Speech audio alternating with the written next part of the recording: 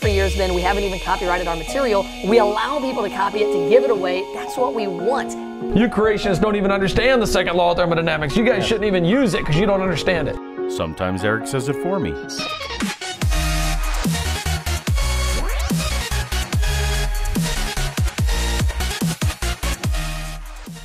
Welcome to Paulogia, where a former Christian takes a look at the claims of Christians. If you find these videos helpful, why not hit subscribe now to make sure you don't miss anything? You know what I've spent my day doing so far all morning? Just as I uploaded my last video and started to think about my next, Eric Hovind took to Facebook to share his terrible, horrible, no good, very bad day. Went to Advanced Auto Parts and got a new oil filter for my car because the oil needed changed. The pump over for the Genesis movie and the in the offices over there went bad. Lightning struck our our uh, modem, which ended up carrying from our modem through to our firewall at the ministry, and it took out our firewall. I'm sitting here with my hands up, going, "What's going on?" Ugh, I hate hate it when technology doesn't work properly. Intellectually, I know things go wrong, but it's super frustrating to deal with. Is Satan attacking you, Eric? I know in my old church, whenever technology went wrong, we would pray to bind Satan. The oil didn't get better by itself, it actually got worse. You know, we had electricity flowing to it. You would think, with kind of the power going to it, that adding that energy would actually organize and make sure the thing keeps working right. But, but no, it broke. Here, once again, adding energy to a system did not help that system one bit. Oh, wait, are we getting some kind of object lesson here? I can tell this is your sarcastic voice, but I can't quite figure out where your incredulity is pointed at just yet. I thought, you know, we live in a material world, and if you just add energy, things get better by themselves. This doesn't seem to work that way. Okay, obviously Eric is misrepresenting some aspect of science, setting up some kind of straw man, but this is so far from any scientific claim I've ever heard. I genuinely cannot tell where he's going with this. But that's what they're teaching to 50 million young people today. Some molecules were struck by lightning, energy was added, and it turned into life. Now, they don't know how it happened or don't exactly understand it, but they're teaching that that's what happened. Oh, okay. So he's attempting to mock the concept of abiogenesis, the natural process by which life arose from non living material. When Eric hears the word abiogenesis, it sounds like this is what he thinks of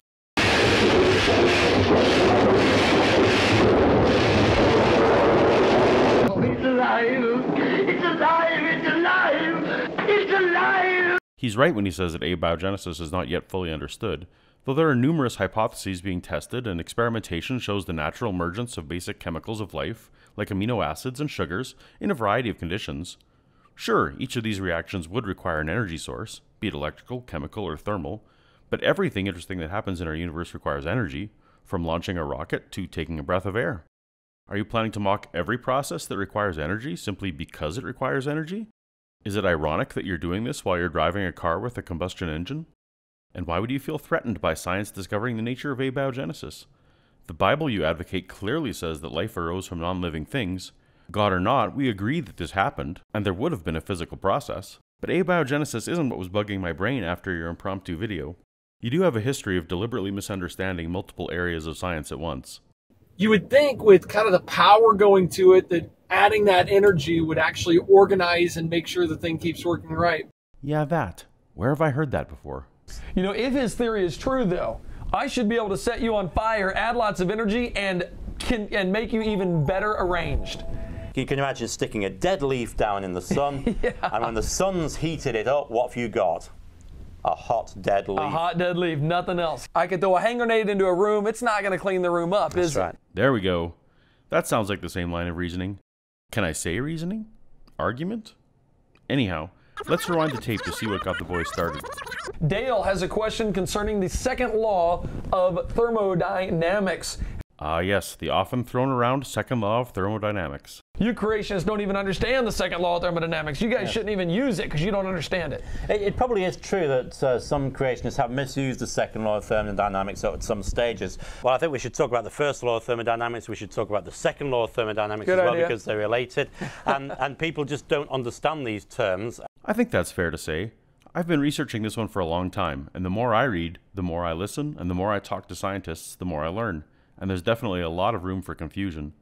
So before I throw back to the Creation Today team, let's get the second law of thermodynamics from some scientists. There's also the second law, which says that heat will spontaneously flow from something hotter to something colder, but it won't flow from something colder to something hotter. And that's because of this thing called entropy. Entropy is often described as the inherent disorder of a system. The more disordered the system, the higher its entropy. The second law introduces a new concept, entropy. Entropy is quite difficult to understand, but we can most easily describe entropy as disorder. And the second law states that the sum of the entropies of a system and its surroundings must always increase. In other words, the entropy or the disorder of the universe is always increasing. Heat will flow from a hot coffee cup into the table or your hand because the heat energy will be more disordered if more dispersed. This is why heat spontaneously flows from hot to cold and not the other way around. Entropy. So, the second law of thermodynamics states that the entropy of the universe always increases.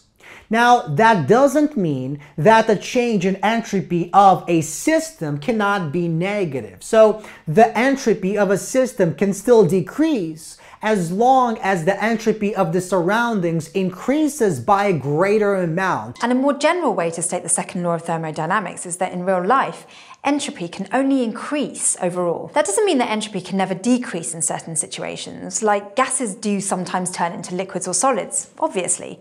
You've seen water vapor condense and liquid water freeze. But if the entropy in a system decreases, that means the entropy of the environment around the system must increase enough to compensate and then some, so that there's an overall increase in the entropy of the universe. Okay, now let's throw it back to Creation Today. It's therm- thermodynamics.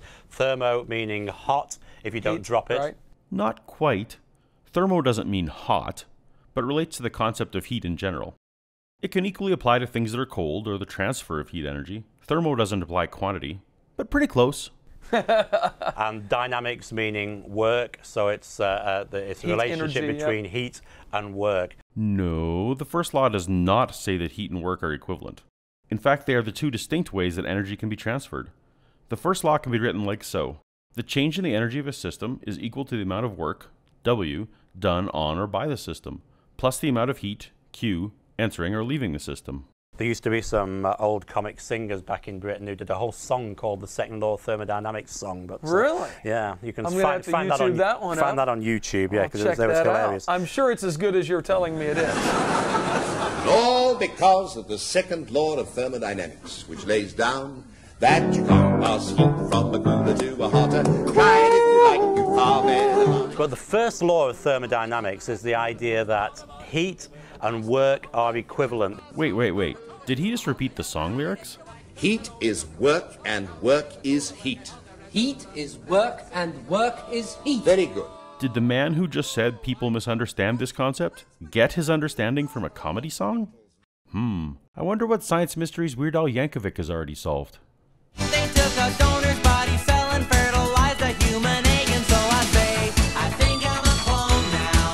There we go, science. Let's get on producing that copy of me. I always thought I died at the hands of my own clone. Well, that's why you have to brand the number two into your clone's cheek. You shouldn't have a clone if you don't know that.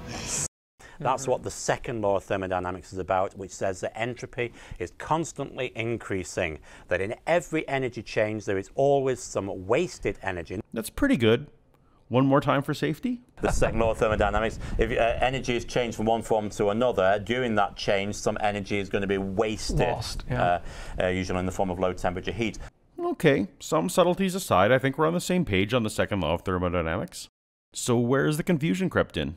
See, evolution clearly defies the second law of thermodynamics. Correct. That, uh, What? evolution doesn't fit with that. No, it goes against it actually. And it is a valid point to say, look, you don't start with rock and get human beings without going against the second law of thermodynamics. How so? The law states merely that no energy conversion mechanism is perfect. Are you injecting a non related definition of disorder to confuse your viewers? The second law of thermodynamics talks about increasing disorder. Disorder.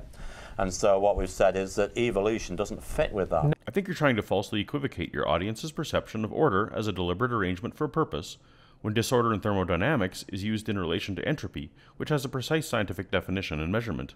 That is not analogous to the positioning of the various um, uh, proteins and yeah. ba- base groups in DNA. It's not analogous to that. Okay, good. I'm glad we agree that anyone saying it's the same would be dishonest. So, are you saying there isn't enough energy available to accomplish the work that evolution has done?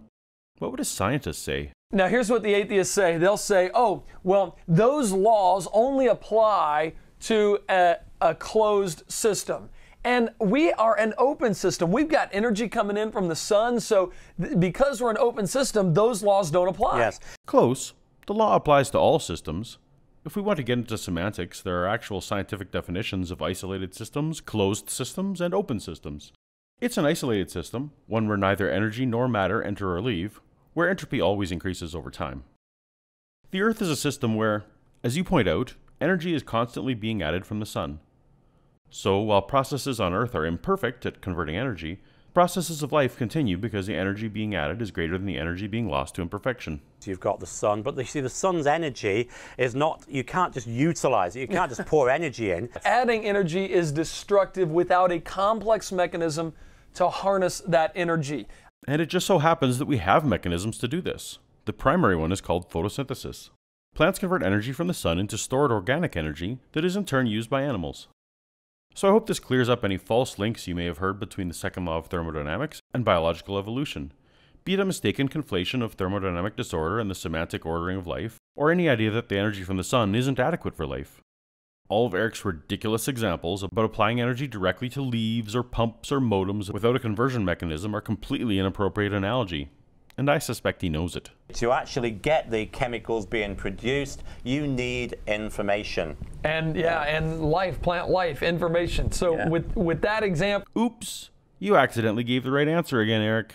Quick, change the subject. Well, it is not a. Cl- and by the way, when you when you go outside of uh, of our Earth, the universe as a whole would have to be considered a closed By system. definition, it's a closed system. Correct. There's nothing outside it. The universe is indeed an isolated system, that is correct. Cosmologists and astronomers suggest it may continue to expand forever, but anyone watching this will be long gone before we lose sight of the other galaxies. But while we're here and off topic, let's cycle back to that first law of thermodynamics. The first law of thermodynamics proves that matter is eternal, that it was never created and that it will never be destroyed. If you take God out of the equation, you must have matter itself be eternal. Matter is now your God. So you're not at all an atheist by any stretch of the imagination. You've just put godlike properties on matter itself. Allowed matter to create things, allowed matter to exist forever. These are properties of God. Yes. So To be sure, we have no idea what things were like before the origin of time and space with the Big Bang 13.7 billion years ago, if such an idea of before the creation of time has any meaning at all.